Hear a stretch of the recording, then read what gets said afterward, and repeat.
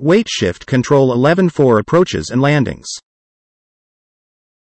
The 180 degrees power-off approach is an extension of the principles applied in the 90 degrees power-off approach, involving gliding with the power off from a specified point on a downwind leg to a preselected landing spot.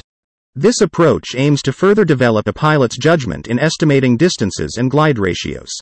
During the execution of a 180 degrees power off approach, the aircraft is flown on a downwind heading parallel to the landing runway, starting at a normal pattern altitude.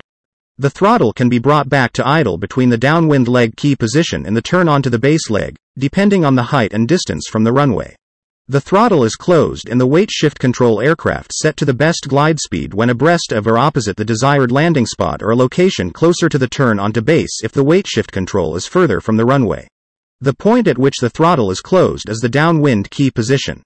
The turn from the downwind leg to the base leg should be a uniform turn with a medium or slightly steeper bank, and the base leg should be positioned as needed for the altitude or wind condition.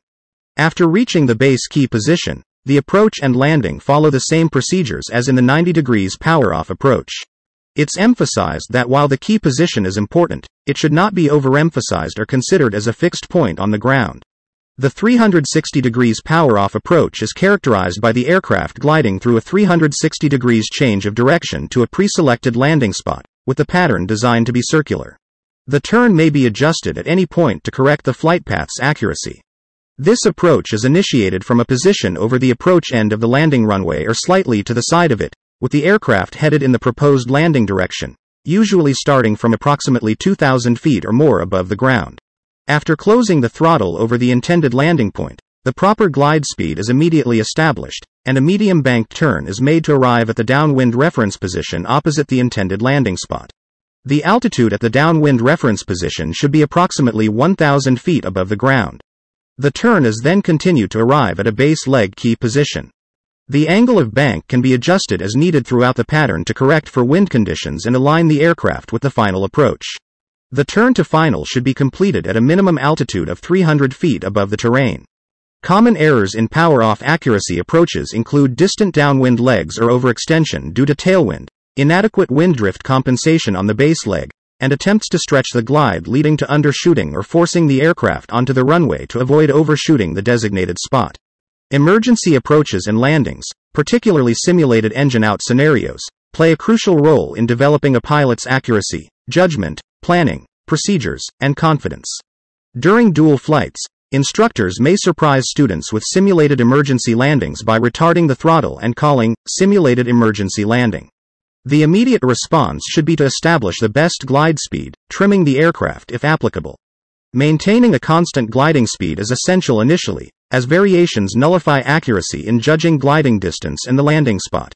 The choice of pattern and approach procedures depends on various factors such as altitude, obstructions, wind direction, landing surface, and distance requirements. Using normal gliding maneuvers, the pilot should reach the normal reference position at a standard traffic pattern altitude for the chosen landing area. The subsequent approach closely follows the procedures of a normal power-off approach, incorporating steep approach techniques if necessary. If the altitude is higher than the desired landing area, the pilot should make large, low-banked circles to establish downwind and final reference points. Once a field is selected, the student communicates it to the instructor and plans and executes a landing pattern. In case of poor field selection, a change to a better field within gliding distance may be permitted. The hazards of last-minute decisions, including excessive maneuvering at low altitudes, should be explained. Techniques like steep approaches and variations in the base leg position and turn on to final should be emphasized to correct misjudgments. Avoiding the common fault of descending too eagerly, students must remember to control speed and not arrive at the field's edge with excessive speed. The engine should be kept warm and cleared during simulated emergency landings, with the student controlling the foot throttle and the instructor having a second throttle. Simulated emergency landing approaches should be terminated once it's determined whether a safe landing could have been made, avoiding undue hazards or annoyance to people or property on the ground. Students should also be taught emergency flight deck procedures, developing the habit of performing critical checks, such as fuel quantity and magneto switch position, during training to enhance safety during actual emergencies. Using a checklist for these procedures is strongly recommended. Faulty approaches and landings can pose significant risks, and pilots need to be aware of various scenarios and the appropriate corrective actions.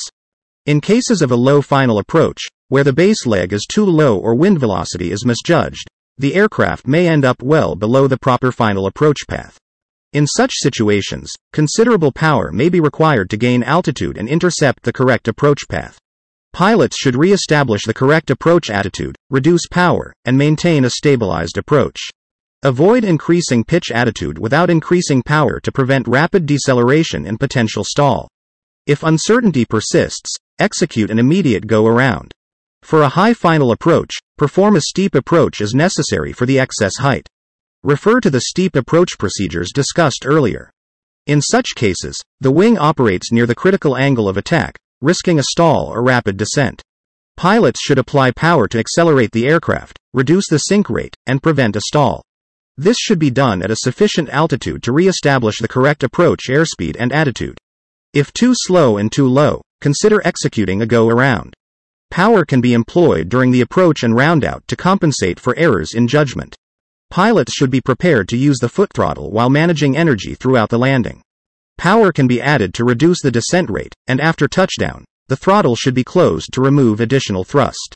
A high roundout, where the aircraft appears to stop moving downward temporarily, indicates a too rapid roundout. This results in the aircraft flying level, too high and too slow above the runway.